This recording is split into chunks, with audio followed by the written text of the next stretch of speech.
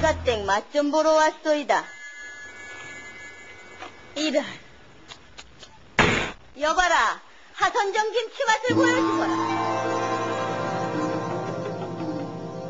하선정 김치 맛에 푹 빠졌군. 막걸라는 김장김치 맛이에요.